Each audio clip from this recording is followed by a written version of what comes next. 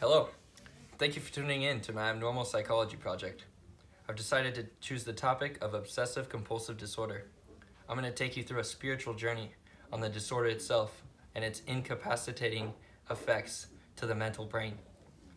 Obsessive compulsive disorder is defined by the occurrence of both obsessive thoughts and compulsive behaviors.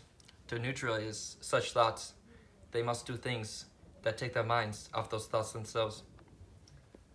OCD is often one of the most disabling mental disorders in that it leads to a lower quality of life and a great deal of functional impairment.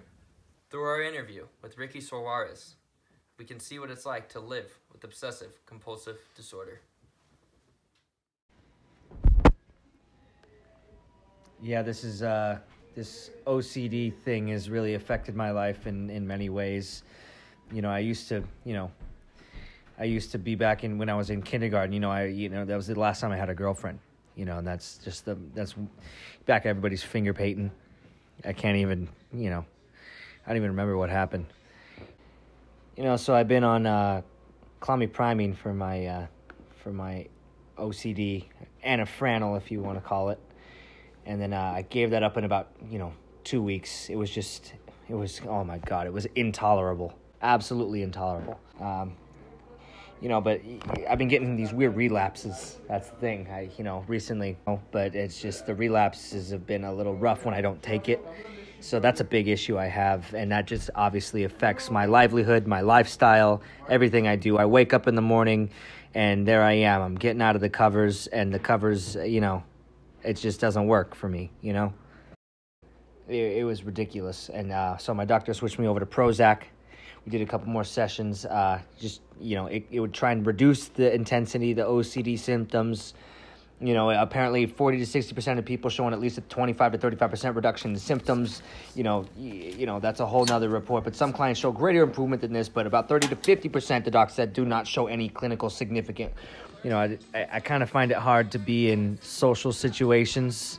You know, I can't even hang out with my friends. You know, I, all I'm thinking about is just clearing off the table. There's too many bottles. It just freaks me out. I, just can't. Even when I'm on my medication, it just doesn't work. Especially when I'm up in the living room. You know, it's already done, but for some reason, I keep going back and fixing the pillows every time. It's just, they can never be just right. You fluff them a little bit more. Then the dog starts barking at you, and then it freaks you out, and you just don't know what the fuck's going on anymore. I can't even go outside. Uh, You know, it it really has just affected me so much. I just can't even. I mean, the, uh, if I'm walking down the sidewalk, you know, I'm just afraid my shoe's gonna come untied. I can't even. I can't even move. I can't even walk. Yeah, so it's uh, it's been a long day for me. I can't deal with any of that right now. Um, you know, said I was gonna do a bunch of stuff today. Didn't really have the time to do it, but you know, there's always tomorrow. You know, I love this game. This is one of my favorite games. Um, it just really helps me clear my mind, clear my head, just just getting all the stresses out. Uh, it's just, it's just. Hold on, wait, wait, wait, wait, wait. Let me take it back real quick. Take it back.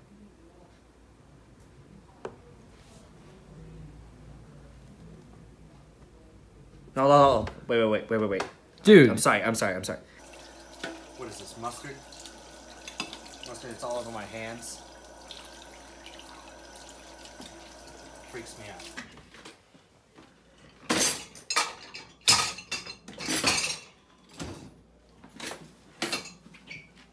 Ricky, it's clean. The dishwasher cleans it. You're fine, dude. You're chill. You're No, no, no, freaking no, no, out, bro. There's a little bit. You're li- look-.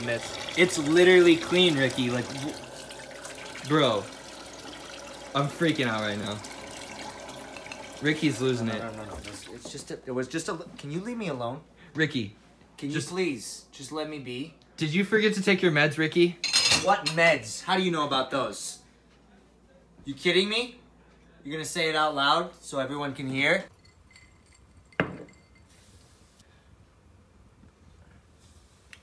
We just got a quick glimpse into the life of Ricky Suarez and what it's like with obsessive compulsive disorder and the mental impairment it has on his lives and the loved ones around him and how it affects his everyday behavior. It is just sad.